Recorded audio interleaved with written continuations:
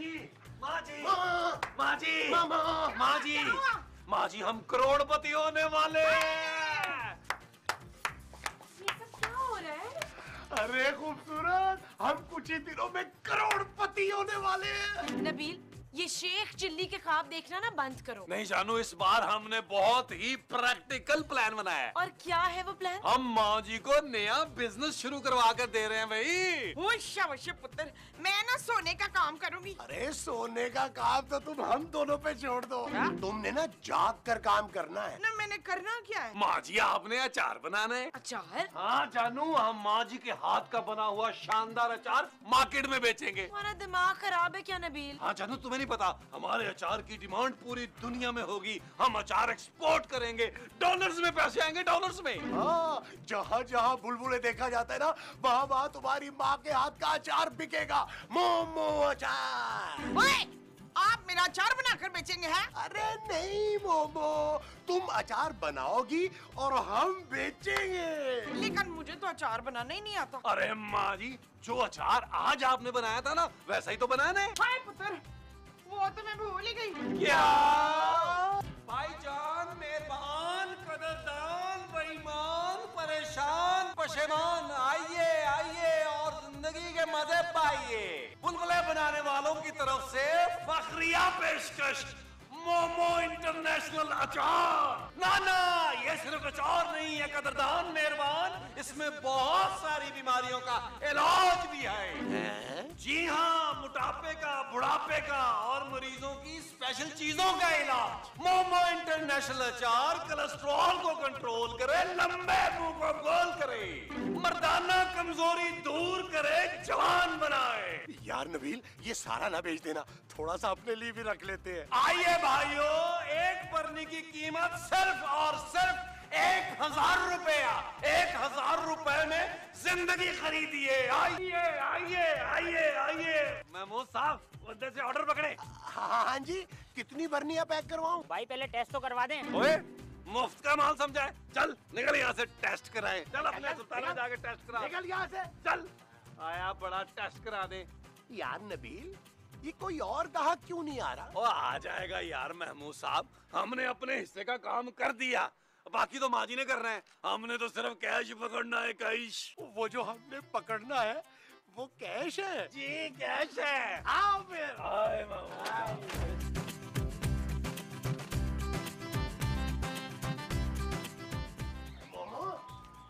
अचार रेडी हो गया? हाँ जी मैंने मक्खियों वाला तो बगैर मक्खियों वाला लैदा लैदा करके रख दिया। हाँ जी यार ये आप लोग क्या कर रहे हैं पूरे घर में अचार की बू फैली हुई है। सर फट रहा है मेरा। तेरा सर फट रहा है ना तो दफ़ा हो जा इधर से। What? तुम किसी हाल में खुश नहीं हो सकती खूबसूरत। मैंने तुम जैसी नाशुक्री औरत नहीं देखी। अरे मियाँ के कारोबार का आज पहला दिन है। उसको विश करने की बजाय ऊपर से नाक चढ़ा रही हो। क्या फजूल कारोबार है। दो घंटे हो गए मक्खियों के सिवा तो कोई नहीं आ रहा अचार लेने। अरे आ जाएगा भाई। कारोबार को जमने में थोड़ा वक्त तो लगता है। क्यों नबील? हाँ महमूद साहब। और जानू तुम देख लेना हमारा अचार लेने के लिए गली की नुक्कड़ तक लाइन लगी होगी। वो जो गली की नुक्कड़ तक लगी होगी वो लाइन होगी। हाँ जी। वो शवशे।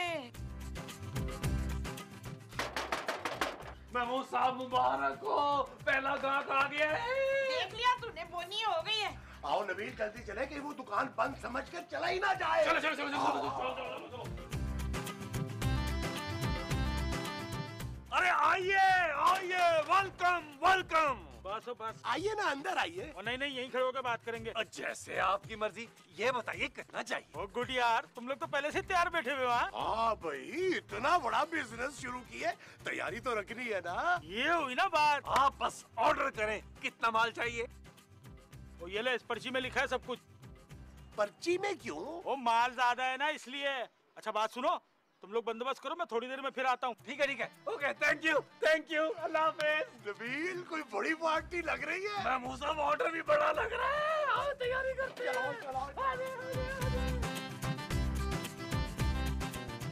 चलंगी मक्खियाँ नाले बड़ा कुछ कहण गईया अखियाँ माँ जी मुबारक हो मुबारक हो पहला ऑर्डर आ गया।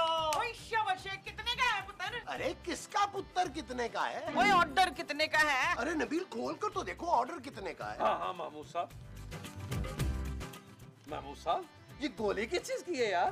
ताकत की होगी। ओए इस कागज़ पे गोली बना के भेजी है। और नहीं माँ जी इस कागज़ में से गोली निकली है। ओए किसी की गिर गई होगी पुत्र। छोड़ ये पढ़ ऑर्डर कितने का है? यार महमूद साहब बड़ी गंदी लिखाई है यार। अरे नंबर पढ़ो ना। साहब पचास लाख? हैं? दिखाओ जरा मुझे। अरे ये तो इकाई दहाई सैकड़ा हज़ार दस हज़ार। अरे ये तो पाँच लाख है। पाँच लाख? पाँच लाख? बर्निया तेरा क्यों बनाएगा? अरे नहीं भाई पाँच लाख रुपए लिखा है। जानू तुम अपने शौहर को हल्का ले रही थी ना? पहला ऑर्डर ही पाँच लाख रुपए का आया है। क्या? हाँ जानू। दिखाना जरा इधर। नबील इस पे तो लिखा है पाँच लाख रुपए या गोली। मेरे ख्याल में जानू पाँच लाख रुपए ले लेते हैं। गोली का हमने क्या करना है? हाँ गोली के लिए तो बंदूक भी लेनी पड़ेगी। यार महमूद साहब पाँच लाख रुपए के हिसाब से हमें कितनी बर्नियाँ तैयार करनी पड़ेंगी? यार इसका तो हिसाब लगाना पड़ेगा। चले फिर अंदर बैठ के आराम से हिसाब करते हाँ, चलो चलो। चलो चलो चलो चलो चलो आओ आओ आओ आओ आओ। आप लोग फ़िक्र मत करें डरने की कोई ज़रूरत नहीं। मैं हूँ ना। लेकिन इंस्पेक्टर साहब वो बहुत खतरनाक आदमी लग रहा था। अरे क्या मुझसे ज़्यादा खतरनाक लग रहा था? नहीं आपसे ज़्यादा खतरनाक नहीं लग रहा था। तो फिर बस घबराने की कोई ज़रूरत नहीं है। पुलिस आपकी मदद के लिए तो है ना? थैंक यू इंस्पेक्टर साहब थैंक यू अच्छा ये बताएँ उस आदमी ने आप लोगों से कितने पैसे मांगे थे? पाँच लाख। पाँच लाख? अरे दफ़ा करें उसे। एक लाख रुपए मुझे दें उससे मैं खुद बात कर लूँगा। आप हमसे रिश्वत मांग रहे हैं? अरे मैं तो आपके चार लाख रुपए बचा रहा हूँ। अरे ये तो आपका फ़र्ज़ है। ओ भाई फ़र्ज़ गया तेल लेने। हमें क्या मौत पड़ी कि आपके पीछे ख्वार होते फिरे? ये आप किस तरह की बातें कर रहे हैं? मैं कंप्लेन करूँगी आपकी। यार नबील मुझे तो लग रहा है ये खुद उसके साथ मिले हुए हैं। मुझे भी ऐसे लग रहा है। पुत्र ये मल्ले के किसी बच्चे की बॉल ना हमारे दरवाजे के बाहर आके गिरी है। दिखाओ अरे देखो नबील ये तो कोई अजीब सी बॉल लग रही है। हाँ यार महमूद साहब और भारी भी काफ़ी है। यार इंस्पेक्टर साहब आप देखिए क्या है? अरे ये तो गिरनेट है गिरनेट। पकड़ो। माँ मुझे ये बना दिया। माँ जी बाहर फेंके बाहर फेंके बाहर फेंके यार नबील ये तो फटा ही नहीं है। लगता है जी फूस हो गया। लेकिन ये ग्रेनेड किसने हमारे घर फेंका था? हेलो? और जल्दी से पाँच लाख रुपए का बंदोबस्त कर। ये तो अभी सिर्फ़ टेलर दिखाया है। वो इस नकली ग्रेनेड की जगह असली बम भी हो सकता है। क्या? हाँ एक घंटा और दे रहा हूँ बस। जानू उसी बंदे का फ़ोन था। कह रहा ये तो ट्रेलर है। अगर पाँच लाख रुपए एक घंटे में ना दिया तो असली बॉम्ब फेंकेगा घर में. माँ जी माँ जी माँ जी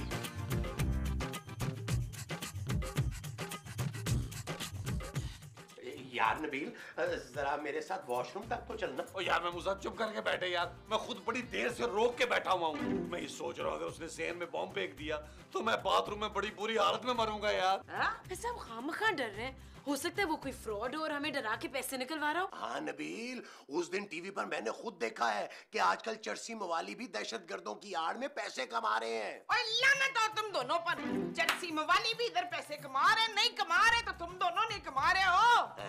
जरा सोचो नबील अगर वो आदमी सचमुच का क्रिमिनल होता तो उसके पास नकली ग्रेनेड क्यों होता? हाँ नबील ये तो हमने सोचा ही नहीं। अरे और तो और वो पुलिस वाला भी उसके साथ मिला हुआ था। जी हाँ फिर अब क्या करें जानू? करना क्या है? आने दो उसको कमीने को उसको तो मैं ही देख लूँगी। ये चीज़ मेरे अज़ीज़ ये चीज़ मेरी माँ।